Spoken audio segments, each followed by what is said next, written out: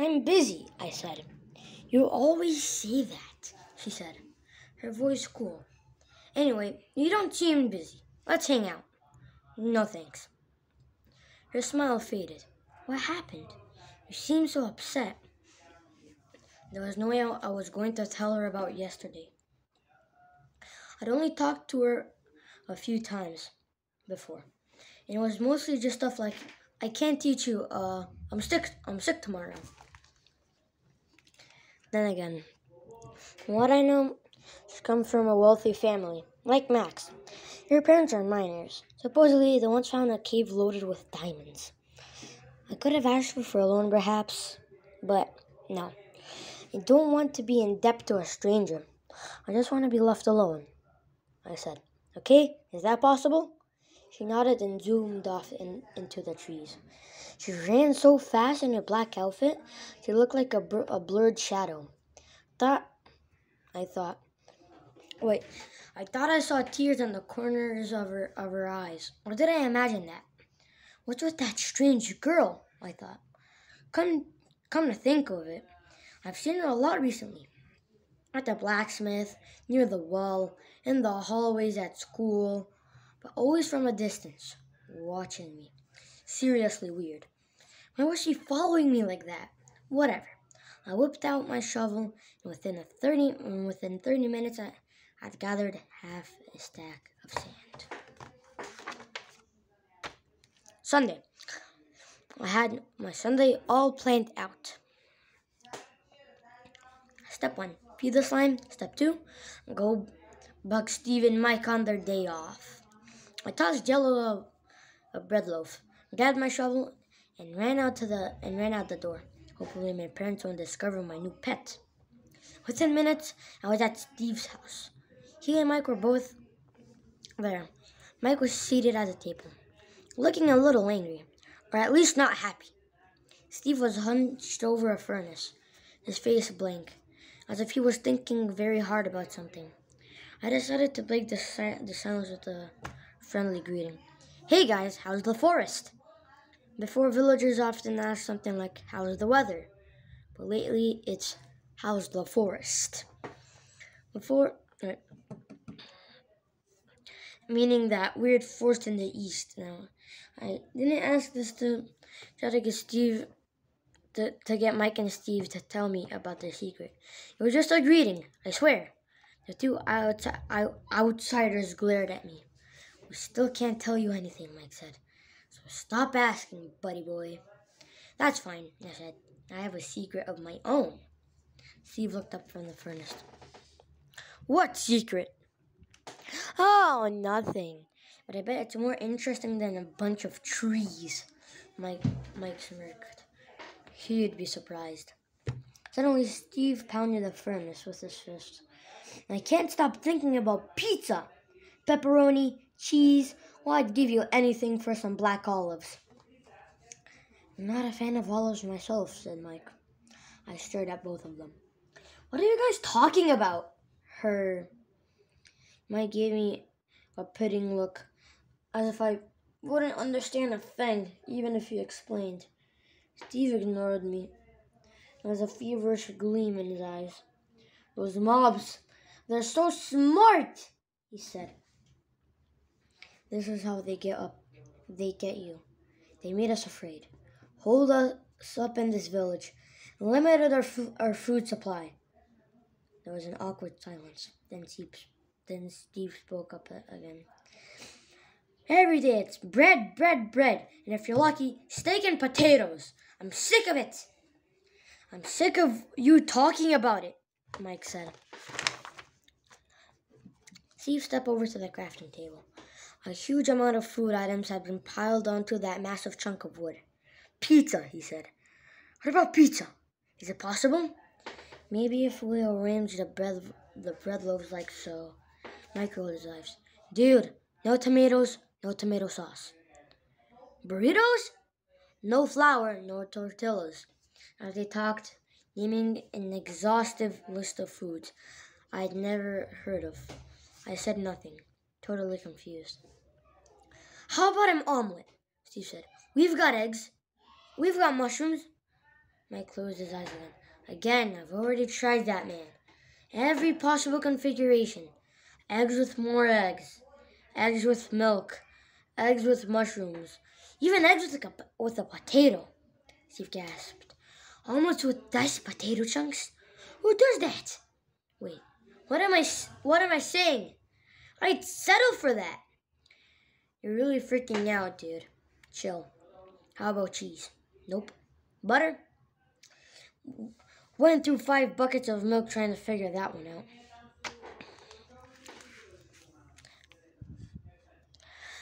The desperation in Steve's voice was heavy as he said, Apple pie? Mike shrugged.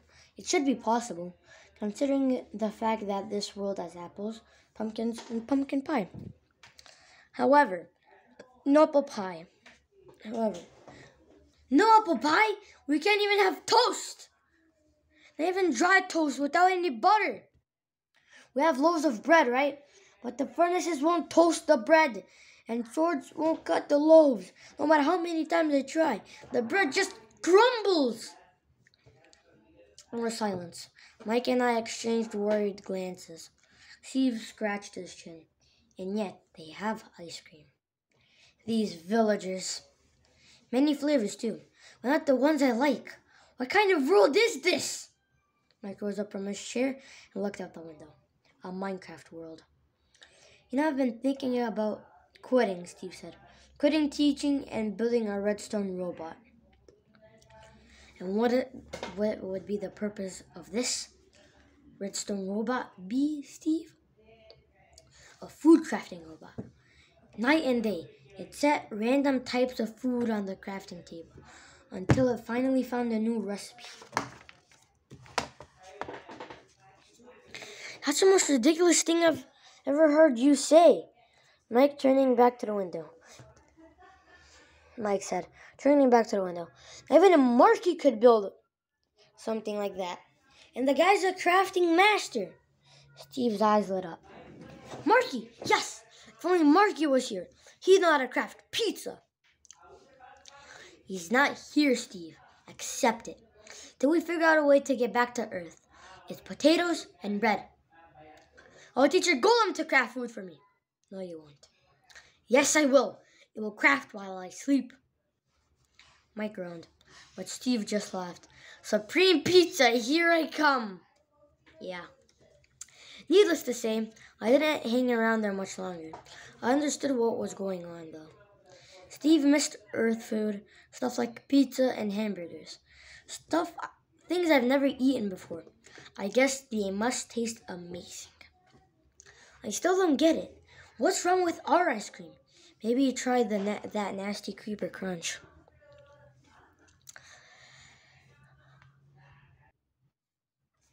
It it's really it is really gross. Later, I went back to the park with Stump. That's where the ice cream shop is. While Stump and I got ice cream, I felt like someone was watching me again. I didn't see anyone, though. Monday. Dear Diary, I like you, Diary. I really do. But I can only assume you're going to suffer the same fate as my record book. Torn to pieces, crumbling into nothingness. You see, Pebble and his friends shook me down today. Took everything I had, from my sword to my lunch emeralds. Well, almost everything. Thankfully, Earth arrived just before they grabbed you, Diary. But it's only a matter of time. What can I do? There are three of them, and they're a lot bigger than I am. Stump tried to help out. I warned him not to. He's probably next on their list. Even though Stump is the seventh, seventh highest level student, he's still a threat. Worse yet, the porcupine guy has apparently joined Pebble's crew. Porcupine saw Pebble pushing me around and figured he'd be better off with the punks. So all the top students, they're taking sides you're either on my crew or on Pebbles, and it's easy to see which crew is the strongest. I saw Cerebella hanging out with Donkey. She gave me a guilty look. I'm sorry, she said later. I'm sorry, she said later. It's just, if I keep talking to you, they'll harass me too. you know? I just want to graduate with good scores. I looked away. Yeah, it's fine. We're still friends, right? Sure. I totally understand, though. I'm not bitter. Team Runt is a sinking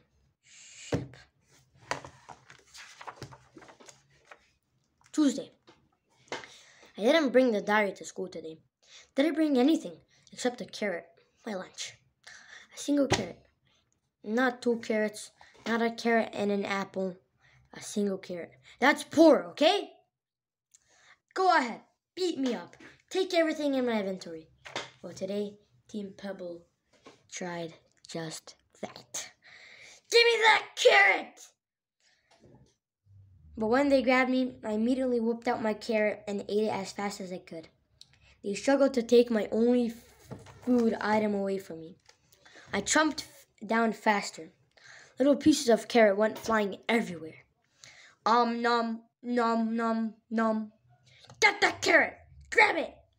But I managed to eat it before they took it from me. You little noob! shouted Pepper. Even as they, even as they, even as they roughed me up, I smiled. It was a small little victory today. They couldn't do anything to me. The only item they could have taken, I ate right in front of them. Good game, noobs. Wednesday. Oof! Oof! These sounds came from me. These sounds came. Those sounds came from me. Team Pebble walked up and said they weren't going to steal anything today. They were going to give me something today. They gave me a pumpkin, all right. Jammed it over my head and began punching me. Don't just stand there. You're a pumpkin zombie, little noob. It's combat training. Oof, oof, oof. I don't want to write much today.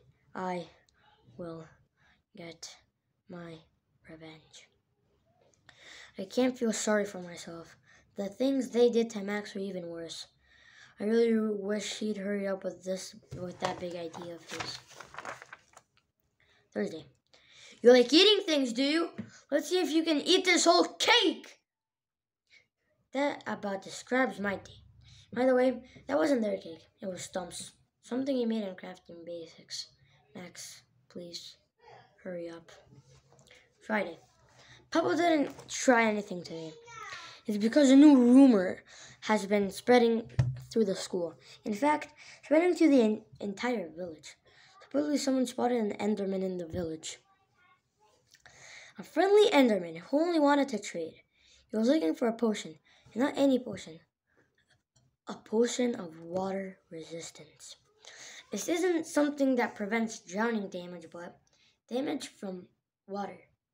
Never heard of such a potion, and neither has anyone I've talked to yet. Doesn't mean such a potion doesn't exist. Now here's the thing. The Enderman is willing to pay 500 emeralds for a stack of potatoes. No, for a stack of such potions. 500 emeralds. This Enderman is rich. Apparently. Of course. Everyone in the village started freaking out, especially the kids at school. We've got to find out how to craft that potion. We've got to make some before that Enderman returns to the village.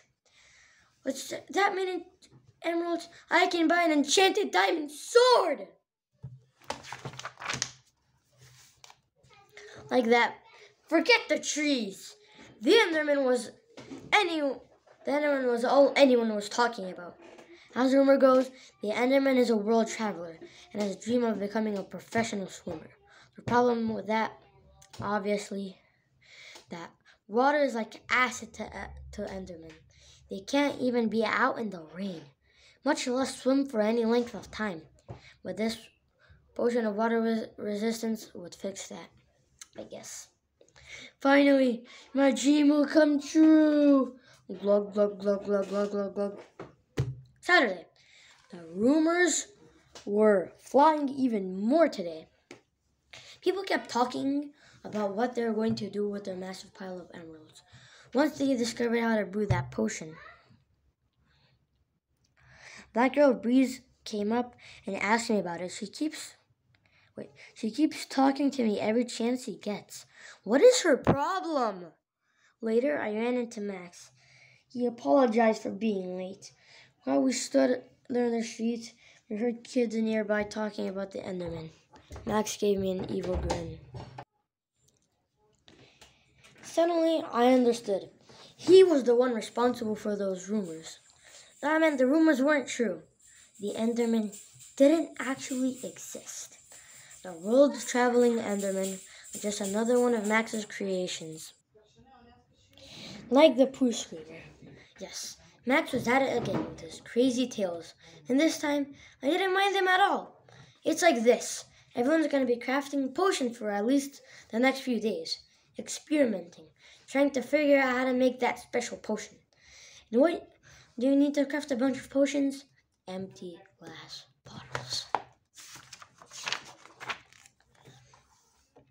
Supply and demand, buddy boy. Supply, supply and demand. Max went around the village and dug up every sandy area he could. I dug up a bunch myself in the park, we figured we probably have at least 75% of the village's available sand. At least. They're easy to find stuff. When people run out of bottles, they'll have no op- option but to come calling to us. We'll be able to charge anything we want for them. I have to admit, this plan of Max's is pretty brilliant. Sunday. This morning, I finished reading Yerf's Golden Rules Handbook. At the end, there's an advertisement for his ne- next book The Ultimate Legendary Handbook. Mobs hate him. This top warrior had discovered one weird trick to beat any mob. Learned a secret technique that ninjas and the government don't want you to know about. This handbook has already been banned in seven villages. Being a skeleton used to be so easy until the Ultimate Legendary Handbook came out. For all the mobs out there, if you run into a noob and he's carrying a copy of the handbook, well, just run. Just run. Skella Bonington. Tired of being a noob? Do you want to be a pro? Read on for a sample of the Ultimate Legendary Handbook, written by Yerf.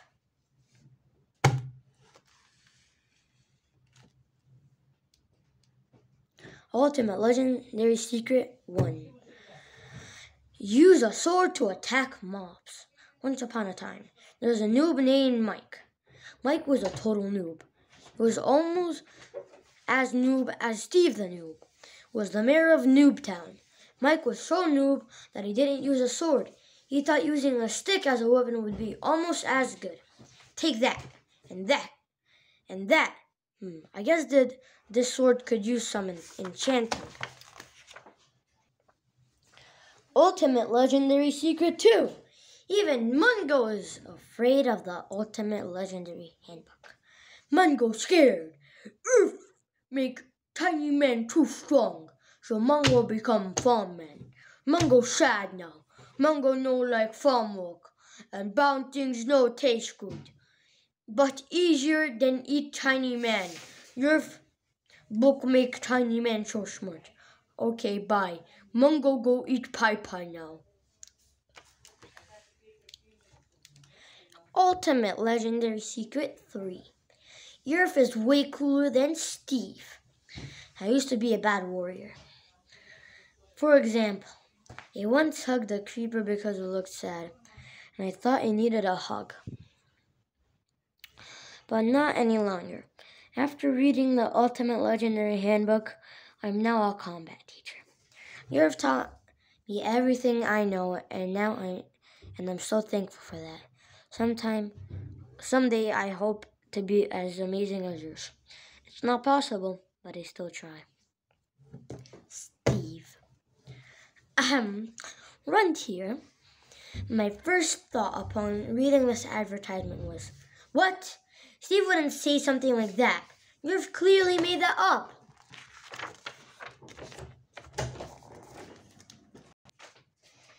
And I think that this will be a good stop to the video. Page 60.